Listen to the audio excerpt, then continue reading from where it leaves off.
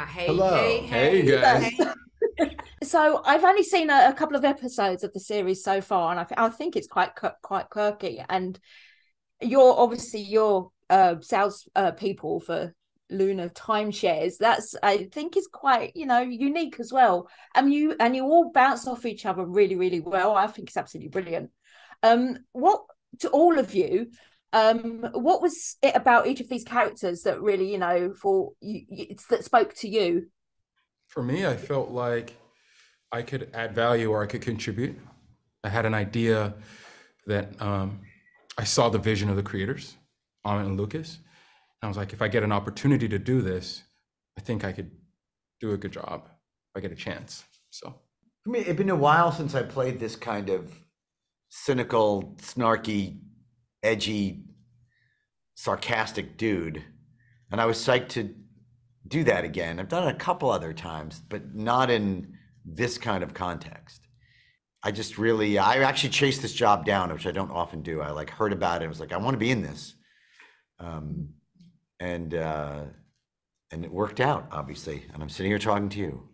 for uh, me with Shirley, uh, I read that she was capable and competent and really good at her job. But what really turned me on was the fact that she was having an affair with someone who she worked with and or that she works with, and so that brought in some complexity for me with this character. And also, it wasn't just run of the mill. So I I really appreciated that, and it made me want to dig in deep and try to get the role. Yes, also I was quite impressed with although it's like it's retro futuristic, um, you're still quite a very strong woman and you're quite a, a leader as well for that, even though you know it's, it's kind of based in the 50s. Mhm. Um, would was that kind of appealing to you as well?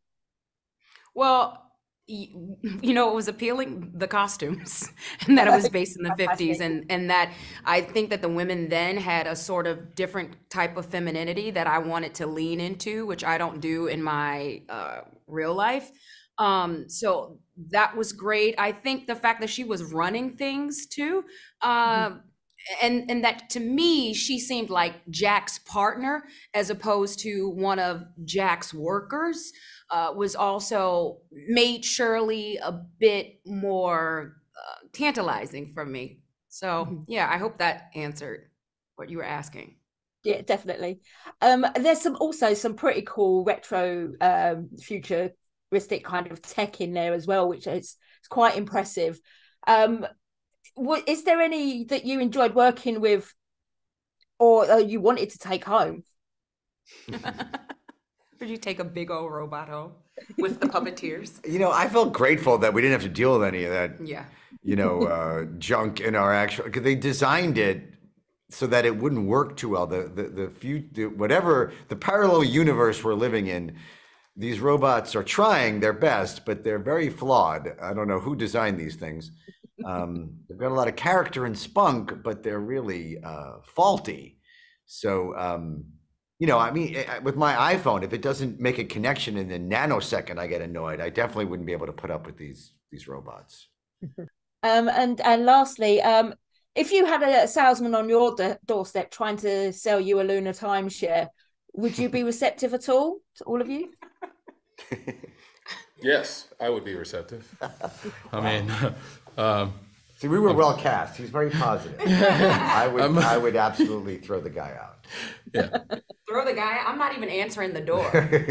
I'm below the window, like pretending I'm not home. Well, now Does a the modern on the equivalent. not appeal? Well, I have somebody selling you a condo on the moon. Yeah, if, it's a, if it's a condo and it, you know not it's right now in nice, 2023.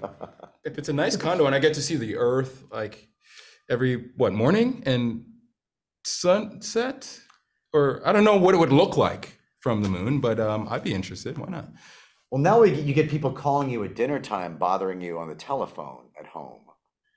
Uh, Do you still the have a landline? I have one, yeah. I don't. Wow. why- I, I think only so that people can bother me at dinner time. You wouldn't have to deal with that on the moon when you get there. They there. probably would find some way to call you Oh on yeah, sure. Off the rails.